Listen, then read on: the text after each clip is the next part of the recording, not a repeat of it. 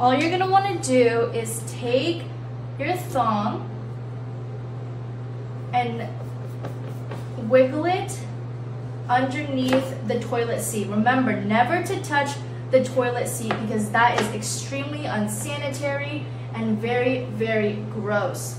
So, what I'm doing is I'm gonna stretch this thong all the way to the top right here, right where this corner meets into that hook. And I'm gonna do the same exact thing. Perfect.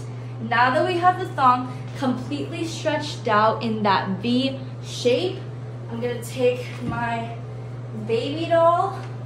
This works with real children and stick your child right there. Look at how comfortable, perfect for potty training.